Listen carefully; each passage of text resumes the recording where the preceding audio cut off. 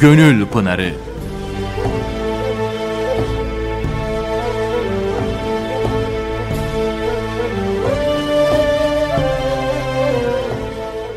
Merhaba, hayırlı akşamlar sevgili dinleyicilerimiz. Bir Gönül Pınarı programıyla daha sizlerle birlikteyiz. Yanımızda yine Osman Ünlü hocamız var. Hocam öncelikle hoş geldiniz. Efendim hoş bulduk. Ramazan Şerif ayı e, içerisindeyiz malum. E, dolayısıyla Ramazan ayıyla ilgili de konuşmak lazım. Çünkü mübarek Ramazan ayıyla ilgili anlatacak, belki konuşacak çok şey var. Çünkü içerisinde oruç gibi, e, teravih gibi daha başka zamanlarda yapmadığımız ibadetler var. Kadir Gecesi Kadir var. Gecesi var. E, Ramazan ayına mahsus bazı özellikler var. Mesela şeytanların bağlanması gibi. Doğru. Şimdi bize isterseniz bugünkü konumuz bu olsun ve bize Ramazan ayı ve faziletleriyle alakalı biraz bilgi verebilir misiniz? Şimdi e, Mustafa Bey İslam beş şartından birisi Ramazan ayında oruç tutmak. Bakın Ramazan ayında oruç tutmak. Diğer aylarda oruç tutulmaz mı? Tutulur. Ama Ramazan ayında oruç tutmak farzdır. Dolayısıyla bu ayda oruç tutulması emredildiği için Ramazan ayının ayrı bir hususiyet ve özelliği var. Literatürümüzde üç aylar diye bilmiş olduğumuz Recep-i Şerif, Şaban ve Ramazan-ı Şerif. Recep Allah-u Teala'nın ayı, Şaban benim ayım buyuruyor Peygamberimiz Aleyhisselatü Vesselam.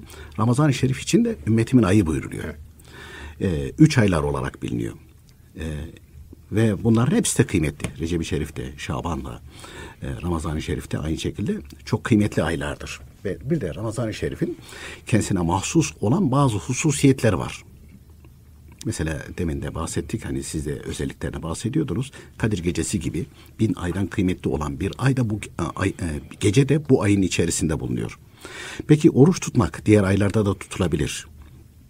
Mübarek günlerde, pazartesi, perşembe günleri, ondan sonra işte Recep-i Şerif ayında, Şaban ayında ve kandil günlerinde e, işte her ayın kameri ayın ama 13, 14, 15. günleri Eyyam-ı Bid diye geçiyor kitaplarda. E, Davut Aleyhisselam tuttuğu oruç Resulullah Efendimiz tarafından tasdik edilmiş mesela.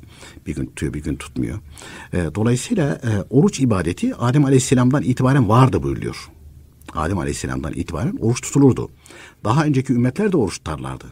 Peygamber Efendimiz'den önceki ümmetler de. Davut Aleyhisselam bir gün oruç tutar bir gün yerdi. Yahudi- bir sene böyle devam ederdi. böyle. Yahudilikte, Hristiyanlıkta da Vardı. Vardı asıllarında. Tabii asıllarında Yahudiler vardı. hala bazen tutuyorlar herhalde. Tutuyorlar. Onlarda öyle bir oruç var. Hristiyanlar temelli kaldırmışlar. Yani onlar bozmuşlar. Türkiye'de de Hristiyanlar gibi davranan ilahiyatçı diye geçinen bazılar var. İşte imsakla oynuyorlar. Ondan sonra yok sahurla oynuyorlar falan. Yani yok edecekler de edemediler. Hristiyanlığa çevirmek isteyenler e, Müslümanların arasında da var. E, oruç tutmak bize yani ümmeti Muhammed'e hicretten Peygamber Efendimizin Aleyhisselatü Vesselam Mekke-i Mükerreme'de Medine-i Münevvere'ye hicretinden 18 ay sonra Şaban ayının 10. günü Bedir gazasından bir ay önce farz olmuştur. Ramazan ayında farz olmuştur ama. Diğer e, günlerde tutulan oruçlar, ha, adak orucu var, yemin kefareti orucu var, onlar ayrı. E, mesela Ramazan-ı Şerif'te e, farz olan orucu bir mazeret sebebiyle, dinimizin bildirdiği özür sebebiyle tutamayanların Ramazan ayından sonra tuttuğu oruçlar var. Kaza orucu. Veyahut da Ramazan-ı Şerif'te e, bilerek orucunu bozmuştur. Kefaret oruçlar var. Ramazan-ı Şerif'in dışında tutulur bunlar. Ramazan-ı Şerif ayı içerisinde yemin kefareti, adak, nafile, ondan sonra ne bileyim kefaret orucu, kaza orucu tutulmaz. Çünkü burada farz olan oruç tutulur. Başka bir şeye de niyet edilmez. Ramazan kelime olarak da yanmak demektir buyuruluyor. Çünkü buyuruluyor bu ayda oruç tutan ve tevbe edenlerin günahları yanar yok olur. Bunun için de bu anlam verilmiştir. Ee, ve Peygamber Efendimiz Aleyhisselatü Vesselam e, buyuruyorlar ki işte Ramazan ayı gelince cennet kapıları açılır. Cehennem kapıları kapanır ve şeytanlar da bağlanır. Siz gelirken de söylemiştiniz ya. Efendim tamamı mı? Tamamı. Ben bir şey merak ederdim. Ya Ramazan-ı Şerif'te gerçekten suç oranları düşüyor. Düşüyor. Ama insan yine mesela kötü rüyalar görebiliyor Ramazan ayında. Hani diyoruz ki Raman rüyalar için rahmanidir, şeytanidir. Evet. E şeytanlar bağlı. Şeytan müdahale edemediğine göre Ramazan-ı Şerif'te o çirkin kötü rüyalar niçin görülür? Şeytan müdahale edemiyor. Edemediğine göre Şeytani diyemeyeceğimize göre. yani zaman. şeytani diyemeyeceğimize göre şeytanlar bağlanıyor ama nefis bağlanmıyor buyuruyor. Nefisler bağlanmıyor. Nefis kötülük üretmeye Devam ediyor. Devam ediyor bir bataklık olarak. Ha yardımcısı yok ama e, içindeki pisliği kusmaya devam ediyor o. Ve zaten de Ramazan ayı gelince, Ramazan ayı gelince İmam Rabbani Kudüs, Kudüs'e Suresi'nin bir benzetmesi var. E, çok hoş bir benzetme. E, Tam İlmihal Saadet Ebedi kitabında da var bu. E, bir teşbih. E, mesela güneş misalini vermişler. Güneş e, elmaya ve bibere ikisine de aynı şekilde ısı ve ışığını veriyor. Isını ve ışığını veriyor. E, elma da kızarıyor, biber de kızarıyor. Elma kızardıkça tatlılaşıyor, biber kızardıkça acılaşıyor. Bunların acı veya tatlı olması güneşten değildir. Kendi cibilliyetlerindendir. Evet ikisini de kızartan güneş ise de eee, biberin kendisindeki acılık cibilliyeti kızardıkça bu artıyor. Elmanın da kendi cibilliyetindeki tatlılık güneşteki o ziyayı aldıkça kızarıyor ve tatlılığı artıyor. Güneşten değil kendi cibilliyetlerinden kaynaklanıyor. Ramazan ayı kıymetli bir ay. Dolayısıyla rahmet ve bereket ayıdır. Bu mümine de kafire de geliyor bu. Yalnız mümine gelen, mümine gelen onu elma gibi tatlılaştırıyor, olgunlaştırıyor. Leziz hale getiriyor. E, inkar edene ona da geliyor, onu da kızartıyor. Ama o da cibilliyetinden kaynaklanan, e, nefsinden kaynaklanan sebebiyle onun da aynı şekilde zehir zemberek oluyor. Bu sebepten dolayı, bu sebepten dolayı bunları izah ederken ondan sonra bu rüya meselesini de açıklıyor. Açıklıyorlar. Er sünnet alimleri buyuruyorlar ki Ramazan-ı Şerif'te e, kötü çirkin rüyalar şeytandan değildir. Şeytanlar bağlı çünkü. Peki neden kaynaklanır? Nefisten kaynaklanır. Onun için rüyalar rahmani, şeytani, nefsani diye üçe ayrılırmış. İkiye değil. Ramazan-ı Şerif'te de e, nefs yine e, kötülüğüne devam edebiliyor. Ama bir yardımcısı yok. Şeytanların tamamı mı? Evet şeytanların tamamı bağlı ve müdahale edemiyorlar. Bunun için de e, Ramazan-ı Şerif'in bu bereketinden istifade edebilmek için müminler biraz gayret ederse, nefsiyle mücadele ederse, oruç tuttuğu için nefsin bazı e, istekleri kırılıyor. Onu yerine getiremez hale geliyor.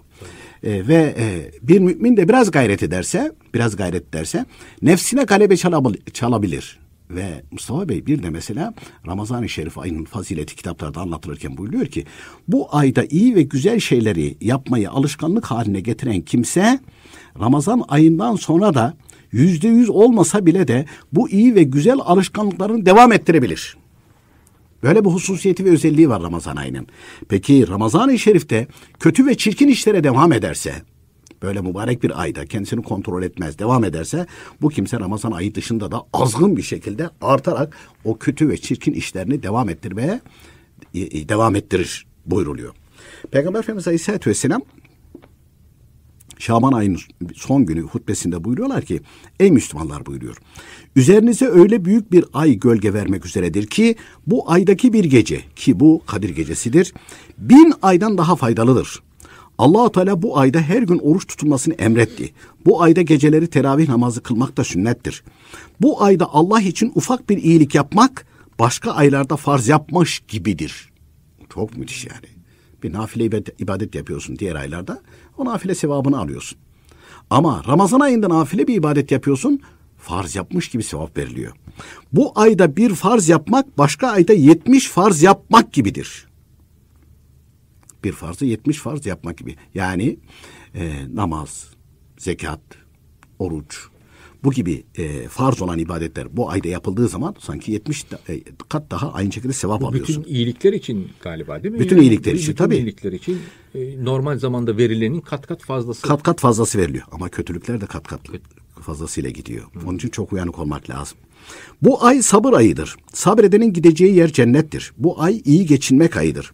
Bu ayda müminlerin rızkı artar. Kesinlikle. Ha diyeceksin efendim niye kesinlikle dediniz? Vallahi ben 60 yaşına ulaştım. Ee, her sene dikkat ederim. Ramazan-ı Şerif'te e, hemen hemen her Müslümanın mutfağı artıyor. Dolar taşar yani. Dolup taşıyor. Doğru. E, bir kere hani diyeceksiniz efendim e, yeme içme azaldığı için. Ya Mustafa Bey sadece, sadece azalmakla alakalı değil. Mutfakta yiyecekler de çoğalıyor. Ama e, satın alma gücü mü artıyor? Yok. E, o yardım duygusu harekete geçiyor. Aa der ya komşuma ver vereyim bundan. Bir bakıyorsun mesela diyelim ki evin hanımı çorba yapmaya kalkıyor. Bakıyorsun e, öbür tarafta komşu bir tas çorba getirmiş. E zaten aynı şekilde hani fazla kalabalık bir aile değilse e, çorba yapmasına gerek yok. Hazır çorbası geliverdi. Veya bir başkası başka bir şey getiriyor falan. Yiyecekler dolup taşıyor. Rızkı artar. Bir kimse bu ayda bir oruç diye iftar verirse günahları affolur. Bakın o karın doyurursa değil. Karın doyurmak ayrı bir sevap.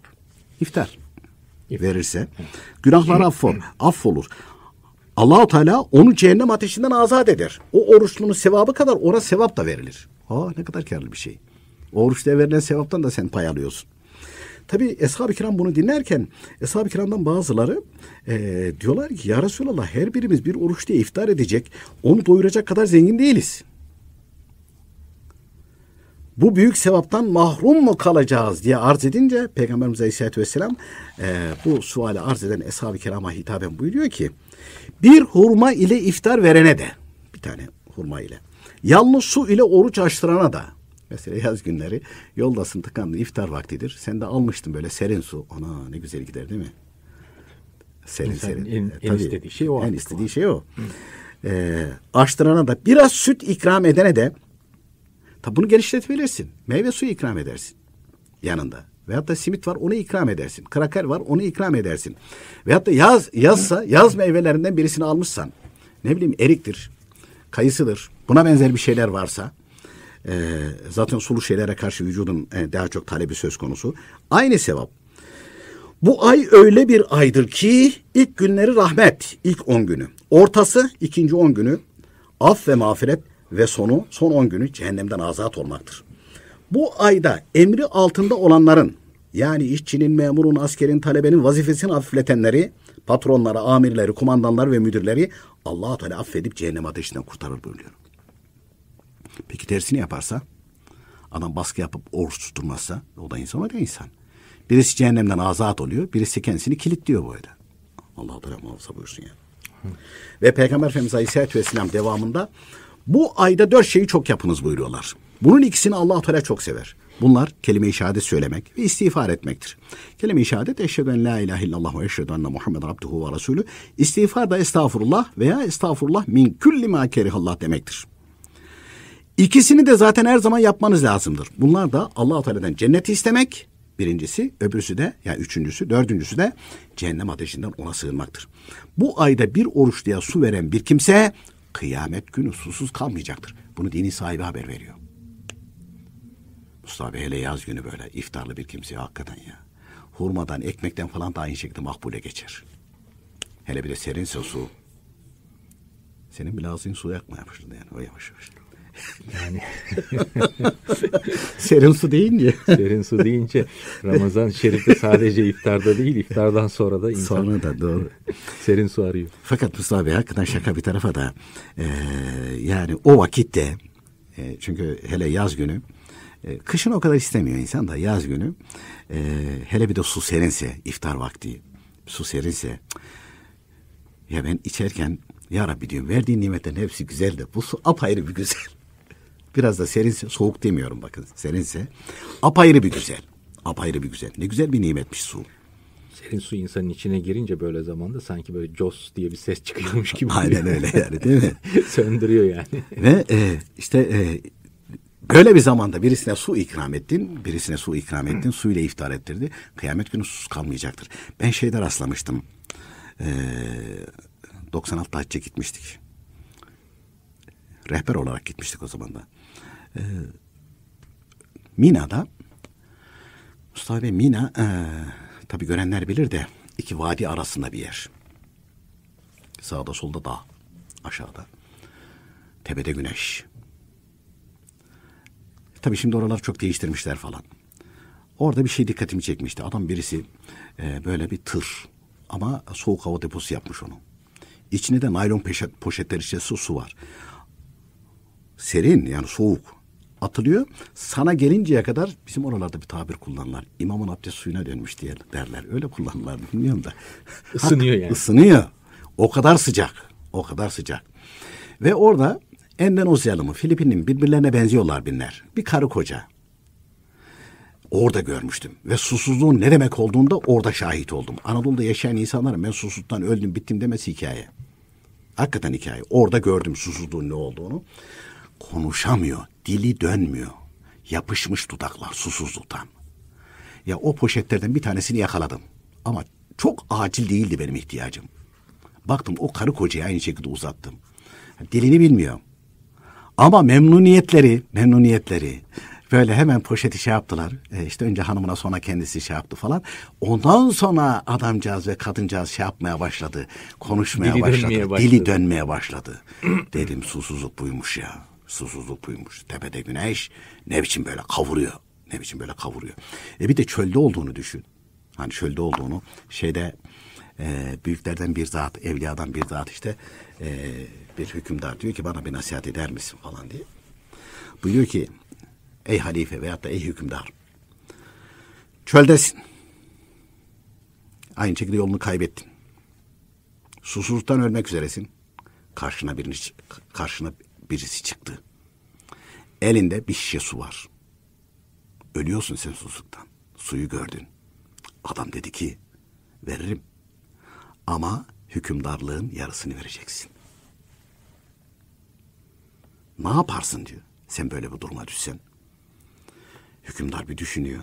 Ya ben öldükten sonra zaten hükümdarlığın ne kıymeti kalır ki diyor. Hayatta kalayım yarısına razıyım diyor. Yarısına razı olurum diyor. Ölürsem hepsi gidiyor diyor. Razı olurum diyor. Peki diyor. Suyu içtin. Ondan sonra da suyu çıkaramadın. İdrar zorluğu çekiyorsun. Kıvranıyorsun böyle ağrıdan. Birisi çıktı karşına. Ben bunu tedavisini biliyorum.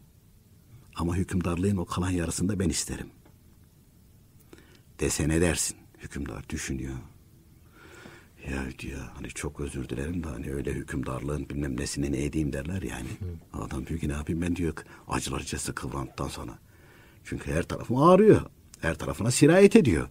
Ondan sonra zaten düşünemiyorsun. Başka bir aynı şekilde zevk düşünemiyorsun. Başka bir şey düşünemiyorsun. Öncelikle vücudumun rahatlamasını isterim ben. Ne yapayım ben öyle hükümdarlığı diyor. Kıvranır dururum. Verdim gitti diyor. Tabii nasihatını ondan sonra tamamlıyor. Ey hükümdar diyor ya. Hükümdarlığın diyor bir bardak su bile etmiyor senin be. Doğru. İçiyorsun çıkartıyorsun yani. İçecek ve çıkartacak kadar diyor seni. Onun için diyor hükümdarlığına güvenme. Onun için hükümdarlığına güvenme. Dolayısıyla hani burada hadis-i şerifte e, Peygamberimiz Aleyhisselatü Vesselam buyuruyor ki e, kıyamet günü susuz kalmayacaktır. Bu ayda bir oruç diye su veren bir kimse kıyamet günü susuz kalmayacaktır. Ama gerçekten susuz olana, ihtiyacı olana verildiği zaman bu hasıl olur. Yoksa bizim zamanımızda e, ortaokulda falan e, böyle e, ilkokul çocuklarla alakalı fıkralar, ondan sonra e, tımarhane ile alakalı fıkralar çok yoğunluk kazanırdı. Şimdi öyle o tip fıkralar pek anlatılmıyor. Mesela hatırımda kalmış o zaman. Şimdi öğretmen anlatıyor. Çocuklar işte e, ilkokula giden çocuklara. işte e, amalara, ondan sonra veyahut da yaşlılara veya aynı şekilde e, ne bileyim muhtaç olanlara yardım etmeli. Onların elinden tutmalı. Caddeden öbür tarafa gidecekse yardım etmeli. İşte eşyalarını taşıyı vermeli. Böyle anlatıyor ve çocukları teşvik için her gün diyor hani böyle bir e, şeyde bulunun ve ertesi günde kaldırıyor. Sen ne yaptın, sen ne yaptın, sen ne yaptın veyahut da yapan varsa parmak kaldırıyor falan. Neyse ertesi gün şey yapınca öğretmen soruyor. Diyor ki var mı yardım eden? Çocuğun birisi kaldırıyor. Birkaç tane çocuk kaldırıyor. Ee, birisi buyur diyor yarım sen ne yaptın? Efendim diyor ben diyor bir amayı işte caddenin öbür taraftan bu tarafına geçirdim. Aferin sana diyor falan. Ondan sonra öbürüsüne diyor sen ne yaptın? Ben arkadaşa yardım ettim diyor. Allah Allah. Diyor ki evladım diyor bir kişi diyor elinden tutup geçiremez miydi diyor onu karşı tarafa. Geçirirdi efendim diyor. Çocukluk hala saflık. E peki sen nasıl yardım ettin diyor. Geçmek istemiyordu ki diyor. Biz zorla geçirdik.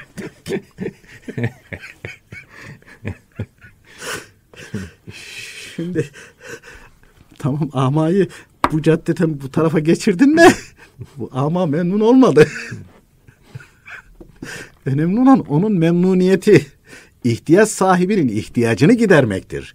Şimdi adam suya ihtiyacı yok. Aç Su içmek istemiyor zorla içiriyorsun. Zorla içiriyorsun. Elhamdülillah ben bir bardak su içirdim. Olmadı. Onun memnun olması lazım. Yani ihtiyacı olana yapmak lazım bunu. Bir de orada mesela kıyamet gününde Peygamber Efendimiz öyle buyuruyor. Susuz kalmaz buyuruyor. Siz hani Ya. sizin anlattığınız dünyada Arabistan'da bir susuz kalmış. Dili damağa yapışmış bir Orada kim bilir nasıl değil mi? Orada kim bilir. Burası gibi de değil o. Gölgeli yok bir şey yok. Efendim orada işte büfeye falan büfe falan yok orada. Güneş yaklaşıyor. Yani. Tabii güneş tepende. Gitmiyor da. Orada duruyor. Hani akşam olacak sabah olacak derdi yok. Böyle senelerce. Bir rivayette mesela İmam-ı Gazali Hazretleri 50 bin sene buyuruyor. 50 bin sene. Çekilir mi ya? Ama Mevlana Halid Bağdadi Hazretleri buyuruyorlar ki eee Hatta bunun bir hatırası var. Allah Teala rahmet eylesin Enver abilerle alakalı olarak. Bir gün böyle bir Ramazan-ı Şerif'teydi. Bir yerde iftardaydık. Enver abiler de vardı. İftardan önce Enver abiler işte orada gelen seyitlerden falan vardı. Böyle bir e, bir konu açıldı falan. Bir konuyu anlatıyordu. Dini bir konuydu falan. İşte mahşerdeki bu azaptan 50 bin seneden falan bahsediliyor. Beni de çok meşgul ediyordu o.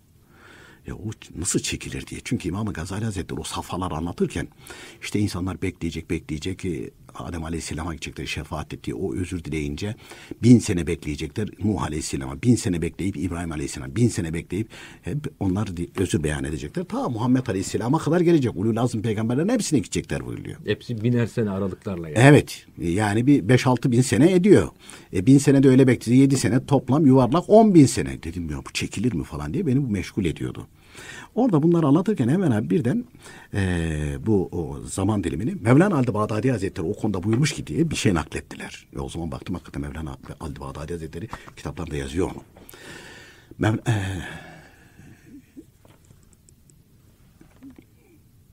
itikat düzgün, ehl sünnet itikadında e, farzları yapmış, haramlardan sakınmış, iman ile vefat eden ve allah Teala sevdikleri seven bir kimse bu şekilde imanını muhafaza ederek vefat ederse mahşer günü o 50 bin senelik zaman dilimi o kimseye iki rekat namaz kılacak kadar bir vakit olurmuş. Öyle zannedermiş o kimse. Mevlana Bağdadi Hazretleri buyuruyor bunu. Bildiriyor bunu.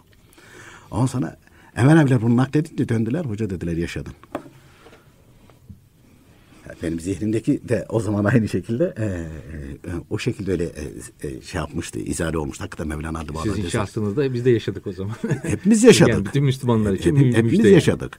Yani o sadece şey değil. Benim zihnimi çok meşgul evet. etmişti o mesele. Dolayısıyla evet uzun bir zaman dilimi. Ama orada mesela arşın gölgesinde gölgelenenler olacak. Hiçbir gölgenin olmadığı yer. allah Teala arştan onların üzerine böyle şeyler olacak. Mesela köşkler olacak buyuruyor. Orada oturacaklar onlar. Mesela Kevser havuzundan su içenler olacak. Kevser havuzu cennetteki bir havuz.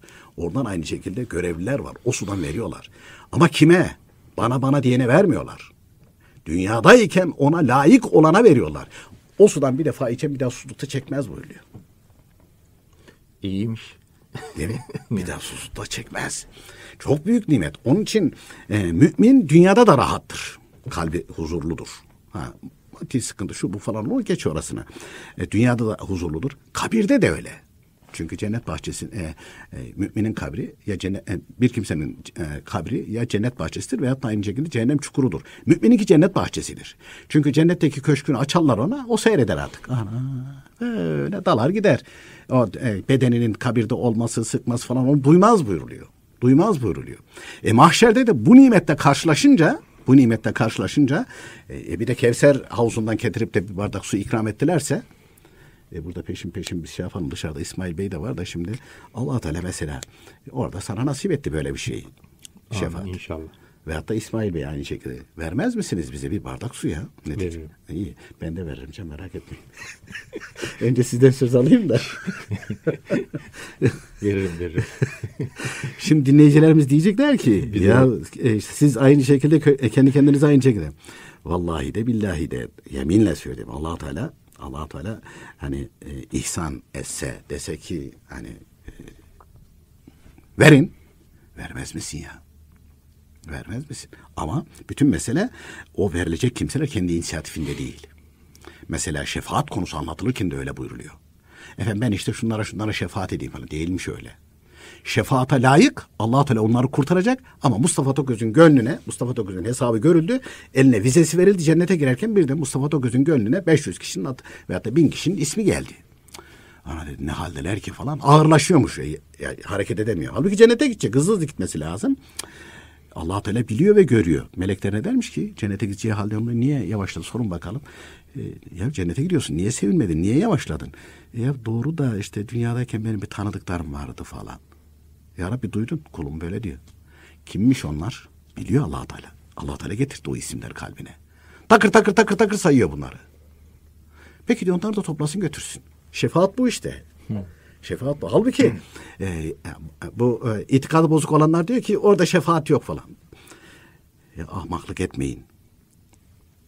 Kulun elinden bir şey gelmiyor. Allahu Teala aynı şekilde adeti ilahiyesi böyle. Sebepler altında gizliyor onu. Yine ihsan eden o, veren o, o kulun kalbine getirtiren de o. Getiren de o. Ha dünyada o kulu allah Teala'nın emrine ittiba etmiş, itikadını düzeltmiş, elinden geldiği kadar farzlar yapmış, haramlardan sakınmış. Buna abi. Ee, ve hani bulut dünyadayken yağmur yağmasına vesile olduğu gibi orada da allah Teala Mustafa Toköz'e şefaat izni verir. Oradan aynı şekilde akrabayı talukattan, sevdiğinden, bak dinleyicilerden de Allah dinleyicilerimizden. Ha dinleyicilerimizden de. Peki efendim bizi dinlemeyenlerden falan önce dinleyicilerimiz. Tabii. Tabii. Öncelik sırası var yani. Tabii. evet. Ondan sonra e, onlardan bazılarının aynı şekilde mesela Mustafa Toköz vasıtasıyla cennete göndermeyi murad etmiş. Sebep o. Yoksa Mustafa Toköz göndermiyor onu. Götürmüyor onu. Yine Cenab-ı Hak gönderiyor. Bunu anlamıyor. E diyor ki olur mu? Ya olmaz tabii ki ya. Mustafa Toköz'de olma, Osman Ünlü de İsmail Sert de Allah Teala yarattığı aciz mahluklardan birisidir. Ne yapabilir ki? Kendisi muhtaç zaten. Kendisi muhtaç.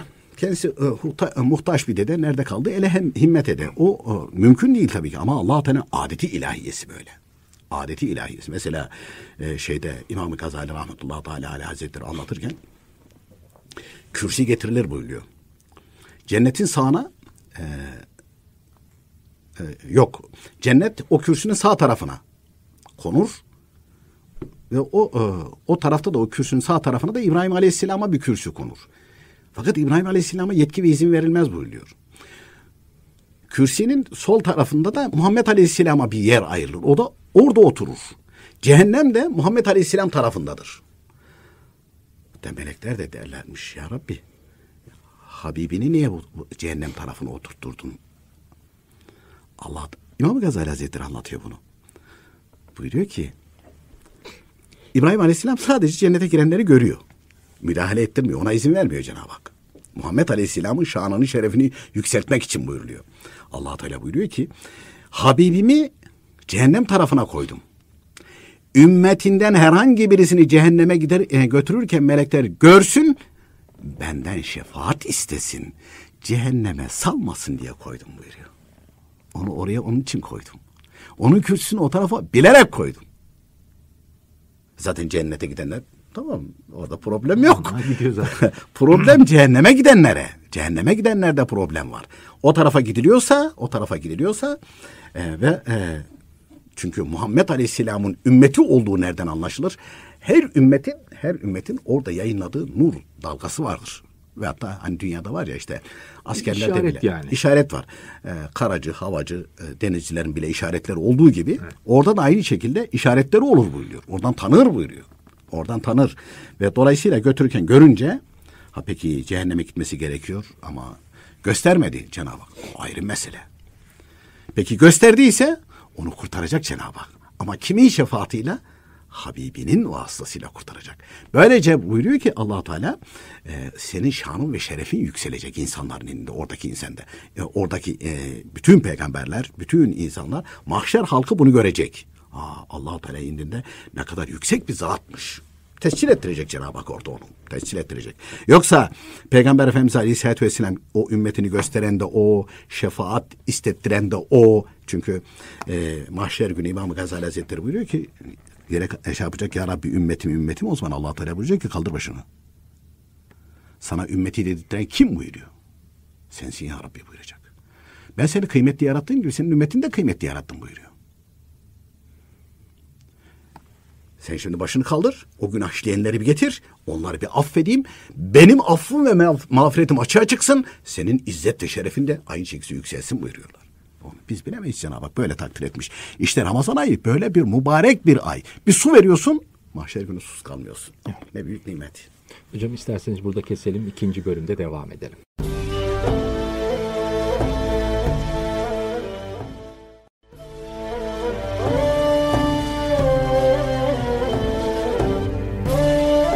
Değerli dinleyenler bu aradan sonra programımıza devam ediyoruz. Osman Ünlü hocamız vardı yanımızda ve bize Ramazan-ı Şerif ayıyla ilgili bazı bilgiler veriyordu. Ramazan Şerif ayının şerefi e, ve faziletleri hakkında. E, tabii iş e, cennete gelince e, biraz genişlettik hocam. Evet. E, çünkü güzel konular.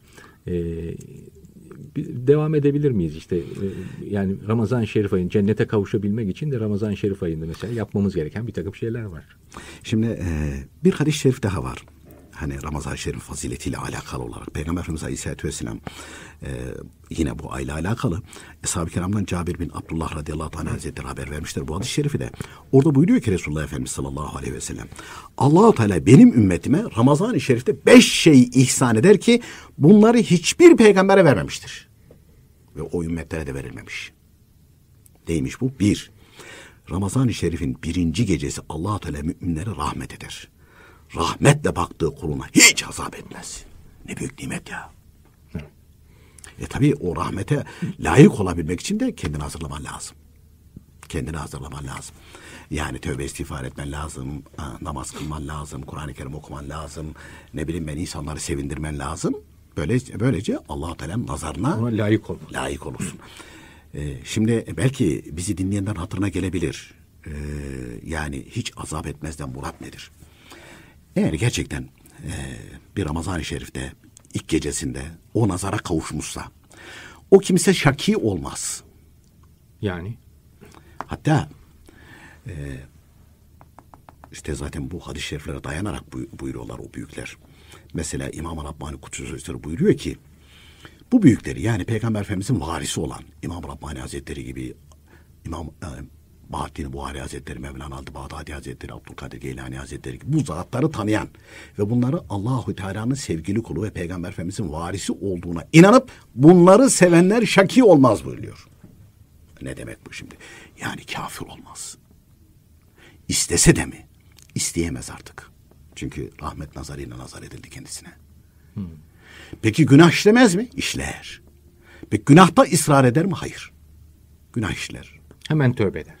Hatırına gelince ağlar, sızlar. Tövbe ya Rabbi ben ne yaptım ya Rabbi? Büyük bir yani suç işlemiş pozisyonuna girer. Hemen üç beş kişi bir araya geldiği zaman aynı şekilde hadi bir tövbe istiğfar edelim der. Bir nikah tazeleyelim, bir iman tazeleyelim der. Ve bunu yapar. Bunu yapar. Ve dolayısıyla eğer e, diyelim ki hataen bir film seyrediyordu veyahut da birisi bir şey söylüyordu falan. Küfür gerektiren bir şey olsa orada gaflete düşmüş olsa hemen bu uyanır. Tövbe tövbe tövbe ettim de ben onu kabul etmiyorum ben onu reddediyorum. O öyle değildir. Hemen tövbe eder. Yani e, imanı gitmez. Mürtet olmaz. Şaki olmaktan kastı o. Yoksa günah, günah işleyebilir. Günah işleyebilir. Bir tek peygamberler işlemez. E onlar da insan diyorsunuz. Nasıl işlemezler? Nasıl işleyemezler? Allahü Teala onları devamlı kontrol altında tutar. Onun için günah işleme durumuna düşmezler onlar. Yani tabi caizse fanusta tutulurlar. Ama peygamberlerin dışında aleyhissalatü vesselam evliya da olsa, eshab-ı kiram da olsa, tabi'in, tebe-i tabi'in de olsa hepsi hata edebilir. Günah işleyebilir. Büyük küçük düşebilir. Düşebilir. Ama o işlemiş olduğu günahtan dolayı başını kaldıramaz bunlar. Öyle ağlarlar ki, öyle sızlarlar ki yaptıkları ne kadar tövbe, istiğfar, hayır, hasenat, ibadet ne varsa hepsini bir tarafa atarlar. O günah gözlerinin önünden gitmez onların. O da onların derecesini âli yapar. Daha da yükseltir. O apayrı bir mesele. Şimdi onun için bir şey söyleyeyim de ondan sonra siz devreye girin. Ee, İmam-ı Rabbani Kutusu buyuruyor ki insanı günah işlemek helak etmez buyuruyor. Ne helak eder? Günahta ısrar etmek helak eder buyuruyor. Bir şey söyleyecektiniz. Ee, şimdi insanın ömründe e, 60 yaşına kadar yaşamış bir insan e, hiç olmasın yani. Niye, niye bana bakıyorsun 60 yaşına kadar yaşamış? Yaşamayayım yani Aramızdaki gideyim. 60 yaşını gören sizsiniz de onun için. Yani 60 yaşındaki bir insan hani 15 yılını çıksa 45 kere Ramazan Şerif görmüş olur. Hı hı. Bu Allahü Teala'nın rahmet nazarıyla bir kere bakması bu 45 Ramazan'dan herhangi birinde bakmasıyla mı Kafi. gerçekleşir? Kafi. Bir defa. Bu bu kadar kesin olması e, şu, şu sebepten dolayı mıdır? Yani Allahü Teala birine rahmet nazarıyla bakarsa e, onu bir daha dönmez bunda. Hani biz bazı şeyleri kendimiz gibi anlıyoruz ya.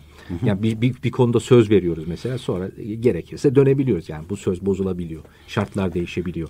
Şartları değişmiyor mu yani bunun allah Teala? Şimdi onu ehl sünnet alimler o kadar güzel izah etmişler ki. Mesela e, bazen siz de şahit oluyorsun İslam ve Toplum programında dua edenler oluyor biz. Allah Teala razı olsun. Biz de dua ediyoruz. Allah Teala sizden bin kere razı olsun diyor mesela. Bir defa razı oldum kafi. İşte bu razı olduğu rahmet nazarıyla baktı. Allah Teala bir defa razı olduğu kulu kulu bir daha öbür hataya düşmez. ehl sünnet alimleri buyuruyor ki ileri de küfre düşecek olan kulundan zaten razı olmaz. İleride e, reddedecek, mürtet olacak. Ona layık olmayana rahmet nazarıyla bakmaz. Eğer bir kul kula na, rahmet nazarıyla bakılmışsa veyahut Allah Teala o kulundan razı olmuşsa onun günah işlemesi ona zarar vermez. O günahta artık ısrar etmez. Küfre düşmez bu kul. Çünkü o kul yani Allah Teala ilmi ezelisiyle artık onun şaki olmadığını veriyor. Cenab-ı Hak muhafaza ediyor onu. Ehl-i sünnet alimleri bu şekilde izah etmişler. Eğer razıysa mesela Eshab-ı Kiram Efendilerimiz için bazı bid'at ehli diyor ki bunlar işte mürtet oldu diyenler var. Halbuki Kur'an-ı Kerim'de allah Teala buyuruyor ki onlar için tamamı için allah Teala onlardan razıdır. Onlar da allah Teala'dan razıdır.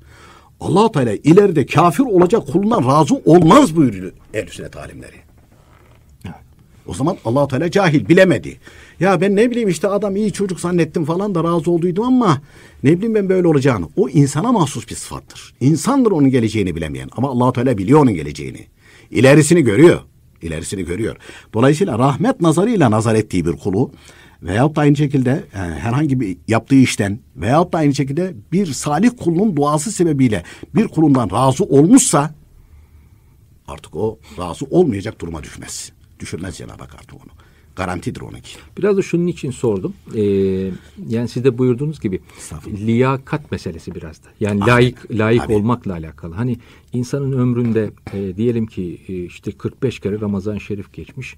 Yani insan biraz çaba sarf etse e, ya bu Ramazan'da ben bunu hak edeyim falan gibi hani Gayret böyle etse. bir gayrete gelse e, bunu hak edebilir de yani. Hani bu Hatta Mustafa Bey kitaplarda buyuruyor ki böyle gayret etmesine bile gerek yok. Sadece sadece Allahu Teala'nın emrine kıymet vermesi bile yeterdir.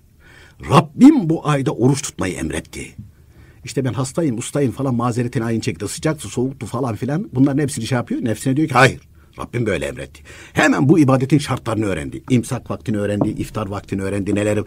Yani Cenab-ı Hakk'ın e, o emrine saygı gösterdi, hürmet etti. Allah Teala meleklerine övünürmüş. Bakın dermiş ya bu kulum. Benim emrime kıymet veriyor. Değer veriyor. Onu benim emrettiğim şekilde yapabilmek için şartlarını öğreniyor. Ve ona uygun yapmaya çalışıyor. Evet beceremiyor. Yanlış da yapıyor. Hata da ediyor. Ama benim emrime kıymet verdiği için ben onların hepsini kabul ettim buyuruyor. Yani Cenab-ı Hakk'ın emrine kıymet vermek. Onun için İmam-ı Rabbani Kutu Sözleri buyuruyor ki allah Teala bir kuluna aynı şekilde razı olması, razı olması o ibadeti yapmakla değil. O ibadeti hangi niyetle yapıyor? Evet. Ramazan-ı Şerif mesela. Aa, Rabbim emretti. Namaz Rabbim emretti. Hac Rabbim emretti. Efendim zekat Rabbim emretti. Sadaka iftar Rabbimin emridir. Rabbim yasak etmiş neyi? Yalanı, gıybeti, suizanı, dedikoduyu. Rabbim yasak etmiş. Ya hatır için ya. E, Rabbimin hatırı var arkadaş diyor. Rabbimin hatırı var. Mesela şimdi Anadolu'da yaygın ya. Ya diyor işte düğün diyor. Ya hatır için gel diyor. işte bu gece işte felekten bir gece çalalım falan kafayı çekelim falan filan. O öbürü diyor ki yok kusura bakma. Ya benim hatırım yok mu? E, Rabbimin hatırı var. Rabbimin hatırı ne olacak? Allah Teala hatırını gözeten Allah Teala onu gözetir ondan sonra. Ona rahmet nazarıyla bakar. Ondan razı olur. Onu bir daha kötülüğe düşürmez. Düşürmez onu bir daha. Yeter ki bu kulda bu gayret olsun. Ama gelelim şimdi meselesini vermiş olduğun e, şeyde. 45, 60 senedir, 45 senedir oruç tutuyor. Ya herkes oruç tutuyor, tutmazsak şimdi ayıp olur ya falan filan. Ya çok da işte yazın olunca da çok da zor oluyor ama ne yapalım işte falan filan. Yani e, yorgunu yokuşa sürmek gibi geliyor. Yorgunu yokuşa sürmek Dostlar gibi. alışverişte görsün. Ha, ona nazar edilmez ona nazar edilmez. Gerçekten samimi olarak. Mesela cuma günü mahşerde şefaatçi olacak buyuruyor. Kime? Aa yarın cuma. Kalkıyor, gusül abdesti alıyor. Elbisesini değiştiriyor. Yeni giyiniyor. Bugün cuma. O gün çoluğuna çocuğuna bir şeyler alıp götürüyor falan. Cuma olduğunu onlara da hissettiriyor. Hissettiriyor. Cuma günü yarın mahşer günü ya Rabbi. İşte Mustafa Tokoz kulun dünyadayken bana saygı gösterirdi. Hürmet ederdi. Tırnaklarını cuma günü keserdi. Cuma günü gusül abdesti alırdı. Cuma günü elbiselerini aynı şekilde temiz elbiselerini giyerdi. Yenisi yoksa bile. Temizlerini giyerdi. Çoluğuna çocuğuna cuma günü arttırırdı. Ben bunun affını istiyorum. Cuma günü ya. Ben bunu bana saygı gösterdi. Benim buna faydam dokunsun diyecek. Benim buna faydam dokunsun. Allah da al götür buyuracak ona. O da devreye girecek. E, Dolayısıyla İmam-ı Rabbani Kuddüs'ü buyuruyor ki ibadeti yapmaktan çok o ibadete değer ve kıymet vermek önemli. Ramazan-ı Şerif ayı içerisindeyiz. Öyleyse bu aya hürmet etmek, mesela bu aya hürmet etmek, mübarek gecelere, mübarek günlere hürmet anlatılırken haram işlememek, günah işlememekle diyor saygı gösterilir. İbadet zaten yapıyorsun. Öyleyse Ramazan-ı Şerif'te oruç tutarken sadece imsaktan e, iftar vaktine kadar aç durmak değildir buyuruyor. Gözü de, kulakları da, dili de, eli de, ayakları da, bütün organları haramlardan, mekruhlardan uzak tutmak lazım. O zaman oruç oruç olur. Çünkü kitaplarda arılmış, anlatılmış. Avamın orucu, havasın orucu diye. Avamın orucu bizim tuttuğumuz oruç işte. İmsakta yeme içmeyi kesiyoruz. Ne kadar var daha? Ana daha 17 saat var. 16 saat kaldı. 15 saat kaldı. Sayıp duruyoruz falan. Çizelge yapıyoruz. Her saat çentik atıyoruz. Ondan sonra. Havasın orucu ise bunlar hiç hatırına getirmedikleri gibi gözünü, dilini, kulağını hepsini şey yapıyorlar. Mesela bir hadis-i şerif var. Gıybet orucu bozar buyuruyor. Ya hadis-i şerif zahiri olarak böyle. Ama İmam-ı Azam Ebu Hanife Hazretleri buyuruyor ki bu hadis-i şerifteki murat gıybet orucu yani yeme içme gibi bozmaz ama orucun sevabını giderir buyuruyor. Onun için ona da dikkat etmek lazım mı? Lazım. Şimdi beş şeyden birincisi demek ki e, rahmet nazarıyla baktığı kuluna hiç azap etmez. İkincisi iftar zamanında oruçluğun ağız kokusu allah Teala her kokudan daha güzel gelir. Ya hakikaten ben kendi kokuma bile tahammül edemiyorum. Yani açlık sebebiyle mideden gelen bir koku var böyle. Ama Cenab-ı Hakk'a çok güzel geliyor. Kimin için aç kaldın? Belki de bizim bilmediğimiz başka bir koku çıkıyor. Onu da biz de koklayamıyoruz tabii ki. Biz mideden geleni şey yapıyoruz falan. O koku allah Teala'ya daha güzel gelir buyuruyor. Üç, melekler Ramazan'ın her gece ve gündüzünde oruç tutandan aff olması için dua eder. Aha bedava duacılar hazır yani. Gece ve gündüz. Gece ve gündüz. Sen uyurken de dua ediyorlar. Ya Rabbi bu kulunu affediver. Ya bu salağın teki. Bir de meleklerin duası reddolmuyor değil mi? Reddolmuyor tabii. Reddolmuyor. Dört, allah Teala oruç tutanlara ahirette vermek için Ramazan-ı Şerif'te cennetten yer tayin eder. Ana arsalar veriyorlar. O da iyiymiş. Arsa tayin ediyorlar. Beş, Ramazan-ı Şerif'in son günü oruç tutan müminlerin hepsini affeder. Yani hepsini tuttu o günden önce tuttu. Yani buradaki murat tamamını tutan demektir. Yani Ramazan ayının tamamını oruçla geçirenleri de Cenab-ı Hak affeder. Ücretini veriyor gibi. Evet ücretini veriyor. Şimdi e, bu beş şey diğer ümmetlere verilmemiş. Bunu anlatırlarken, bunu anlatırlarken hani bir hadis-i şerif daha var ya. E, allah Teala buyuruyor oruçluğun sevabını ben veririm buyuruyor. Evet. Öbürsünü kim veriyor? Namazınkini veya Hepsini zekat. kendi veriyor. Hepsini kendi veriyor. Bunu ehl-i sünnet alimleri bu ve benzeri hadis-i şerifler açıklarken e, Mustafa Bey buyuruyorlar ki bir kimsenin zekat verdiğini görebilirsin. Namaz kıldığını görebilirsin. Hacca gittiğini, hac ettiğini görebilirsin. Yani o, o veyahut da kelime-i şehadeti söylediğini duyabilirsin. Ama oruç tuttuğunu bilemezsin buyuruyor. Orucum der. Tutmuyor. Tabii tutmayabilir. E bakıyorsun adam diri bana açlık tesir etmez der. Ne bileyim ben etmez eder falan. Hatta biz çocukken anlatırlardı böyle. E, iki tane çoban yaz günler rastlamış oruç. Şimdi birisi samimi olarak tutuyor. Öbürüsü tutmuyor. Zahiren tut- tutar görünüyor. Bir pınarın başına gelmişler. O tutmayan demiş ki ya başımızı demiş sokalım şu pınarın içerisine. Serin serin soğuk soğuk. Yazık öbürüsü tabii saf temiz herkes de kendisi gibi biliyor. Ya diyor başımız oraya soksak serinlemeyiz ki diyor bizim içimiz yanıyor. Yok diyor ya serinleriz diyor. Ondan sonra adam kafayı bir sokuyor güp güp güp güp içiyor. Onun yanında da utanıyor içemiyor. Tabii böyle bir teklifte bulunmuş. İçiyor çıkıyor. Oh diyor serinledim. Öbürüsü de Allah Allah diyor. Sokuyor kafayı biraz bekliyor çıkarıyor. Ya diyor bana bir şey olmadı. İçim yanıyor hala. yani Şimdi bunun ikisi de oruçluyum diyor. Ama ikisinin de oruçlu olup olmadığını bir kendileri bir de allah Teala biliyor. Üçüncü şahıs bilemezsin. Üçüncü şahıs bilemez. Bir allah Teala bir de aynı şekilde e, e, kendisi bilebilir. Yani diğer insanlardan, meleklerden, cinden kimse bilemez bunu. Onu nereden bilecek ki? Çünkü orada melek yoktur veyahut da orada aynı şekilde şey yoktur. Onu bilemezsin, göremezsin. Dolayısıyla e, Oruçluğunun sevabını oruçlunun sevabı kendisi bildiği için yani sadece allah Teala bildiği için sevabını ben veririm buyuruyor. Ve mesela onu bir de açıklarken o çok hoş bir şey ya. Mesela diğer ibadetler için mesela hani şimdi var işte 10 puan, 20 puan, 100 puan neyse böyle puan üzerinde değerlendirme. Melekler nasıl yazıyorlarsa, nasıl değerlendiriyorsa e, onlar da aynı şekilde öyle bir şey e, tak, e, allah Teala tarafından kendilerine bildiriliyor. Onlar da yazıyor bunu. Onlar da yazıyor. Oruç diye gelince oruç tuttu yazıyorlar. Sevaphanesinde bir şeycik yok. Bu kimse mahşer yerine geliyor. Mizanın başına getiriliyor. İmanlı gitmiş. Ama dağlar kadar da günah var. Teraziye bir kondu.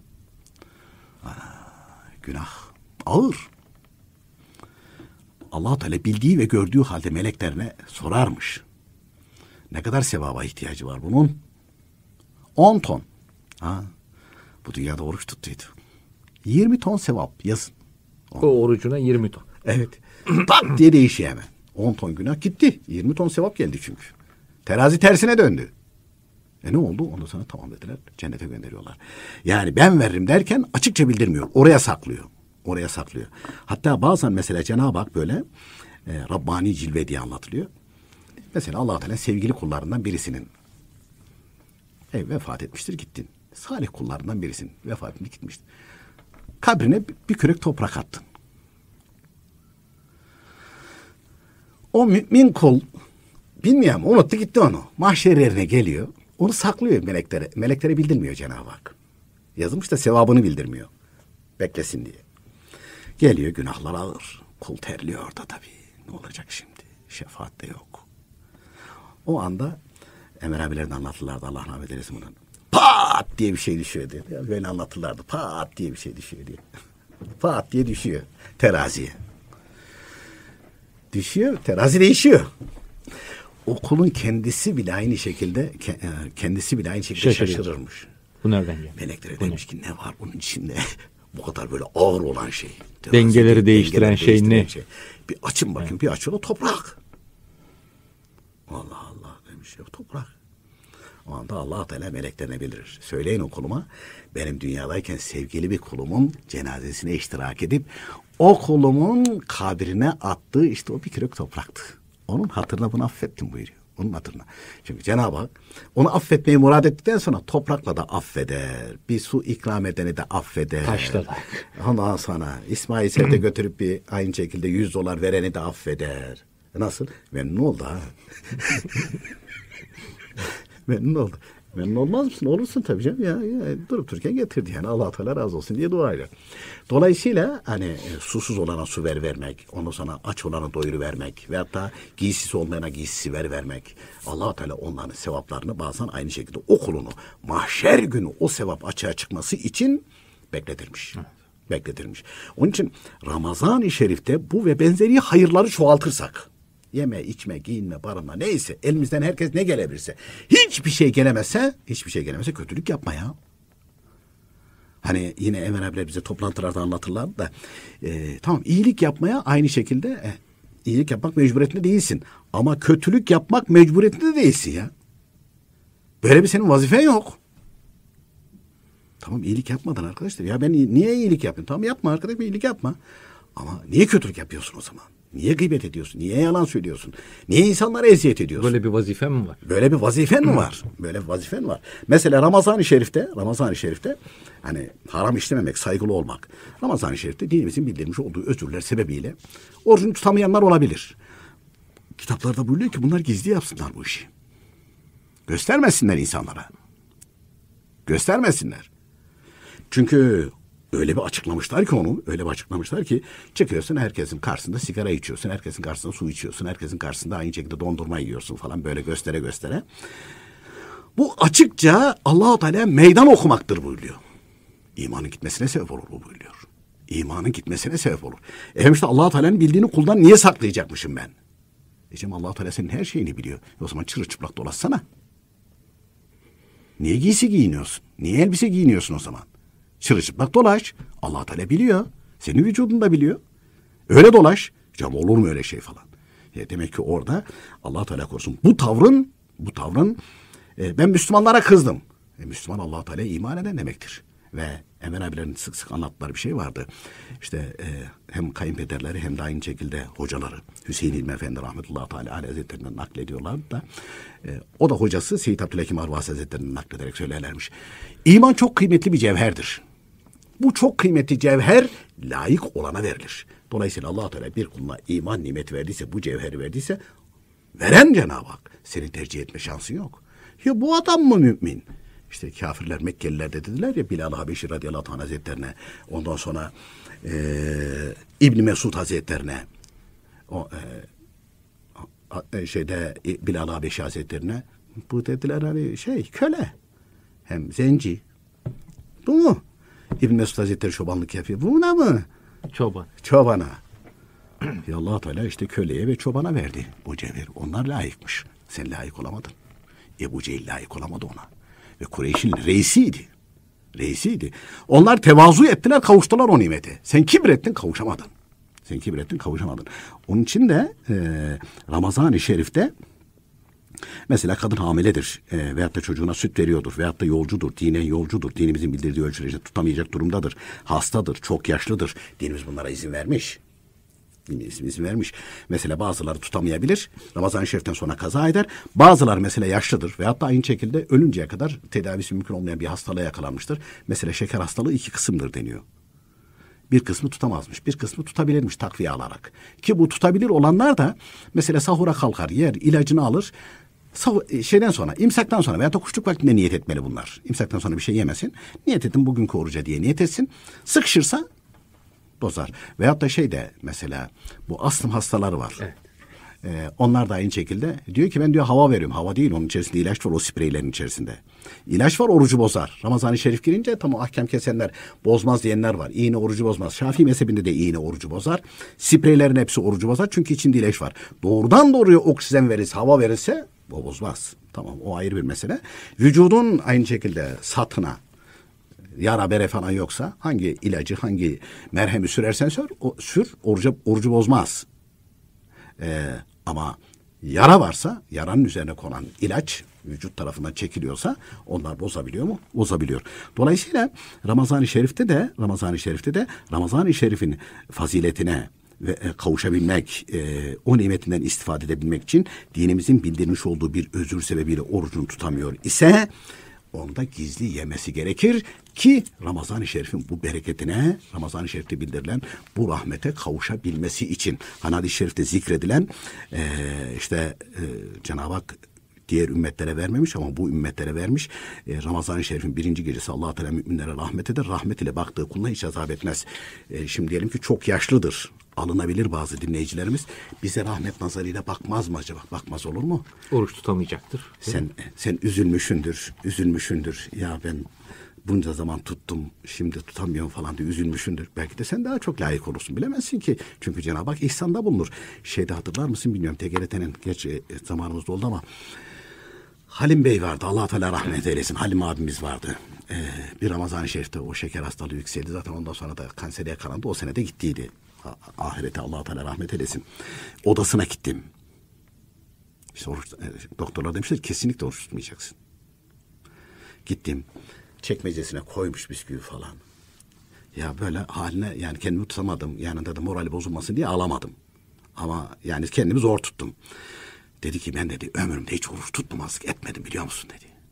Öyle zoruma gidiyor ki dedi ya. Çekiyorum dedi. ittiriyorum dedi. Yemiyorum dedi ya. Zor o iş. Şimdi bizi dinleyen dinleyicilerin içerisinde de var öyle. Evet. Ama Cenab-ı Hakk'ın e, izin vermiştir. Bu e, saygı ve hürmetle yaparsa o da rahmet nazarına kavuşur mu? Kavuşur. Cenab-ı Hak hayırlı mübarek eylesin. Bu tamam. ayı hakkımızda efendim inşallah. Tamam. Peki efendim çok teşekkür ediyoruz. Biz teşekkür ederiz efendim. Sevgili dinleyicilerimiz böylece programımızın sonuna geldik. Önümüzdeki hafta bir başka konuyla yeniden sizlerle birlikte olmayı ümit ediyoruz. Hoşçakalınız.